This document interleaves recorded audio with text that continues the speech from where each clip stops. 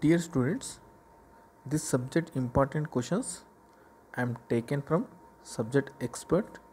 Not only this subject, other subject important questions also I am taken from subject expert which are available on my channel playlist important questions. So go through once and include these important questions in your preparation. I think it will be helpful to you for your preparation. All the best students for upcoming exams. Like and share my videos with your friends.